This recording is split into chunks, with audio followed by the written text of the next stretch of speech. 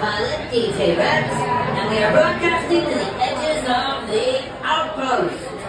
Whether you're local, a smuggler looking for a deal, perhaps a bounty hunter looking for anyone but me, you are definitely not wanted here. I mean, you are wanted, but just not wanted wanted. Uh,